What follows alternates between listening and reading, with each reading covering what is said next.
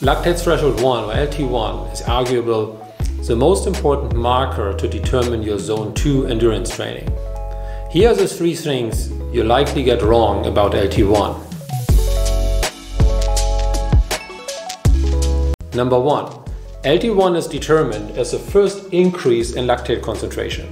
That refers to a test where you increase the load or speed in an incremental or stepwise manner and you plot the lactate concentration on the y-axis and the power speed on the x-axis. Now, the question is, what determines or how do you define the first increase in lactate concentration? First, is it an increase above the resting value or is it an increase above the minimum value?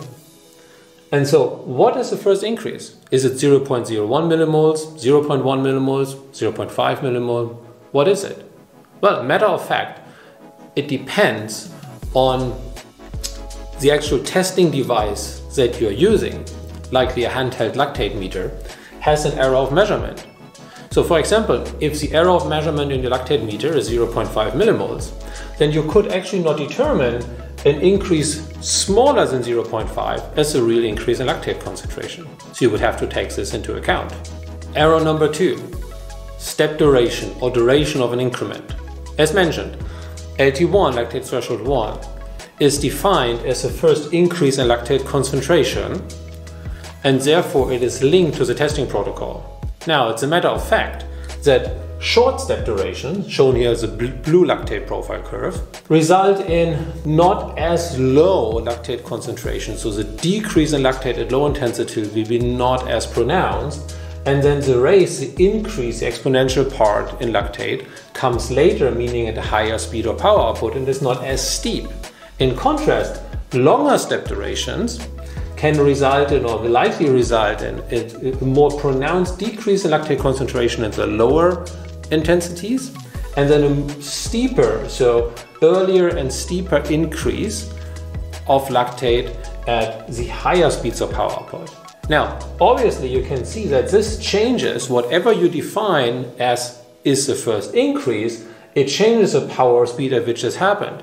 So LT1 is highly dependent on the test protocol. The other error that most people got wrong is the assumption that LT1 actually is the same as maximum fat combustion rate or maximum fat oxidation rate, which science tells us it is not. Okay? First, as mentioned, it depends on the test protocol. Second, the maximum fat combustion happens individually depending on the metabolic profile of your athlete at different intensities and is not related to the first increase in lactate concentration. Another thing that most people get wrong is the assumption that you need a lactate meter, you need to do a lactate profile test to actually determine LT1. That's not true.